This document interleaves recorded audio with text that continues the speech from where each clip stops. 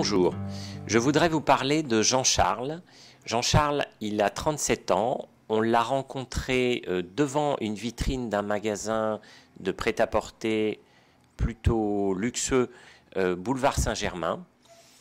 Et il était assis en train de manger euh, un croque-monsieur dans un, dans un mouchoir en papier.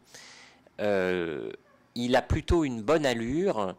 Euh, on ne s'attendrait pas à avoir quelqu'un comme lui euh, dans la rue. Euh, mais en réalité, c'est un garçon qui, bien que venant d'un milieu, on va dire, favorisé, a eu des gros soucis, un abus sexuel sur lui vers l'âge de 18 ans, des problèmes importants avec ses parents.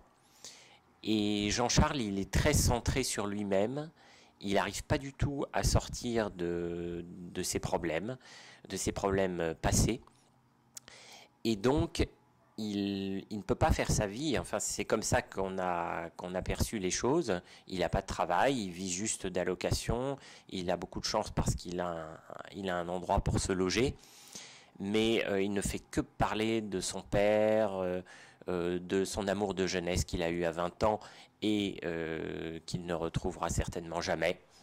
Voilà, et donc euh, je voudrais lancer un appel à la prière pour Jean-Charles, pour qu'il puisse sortir de ses problèmes, qu'il puisse refaire sa vie, tout simplement, avoir une femme, des enfants, et penser à autre chose qu'au passé.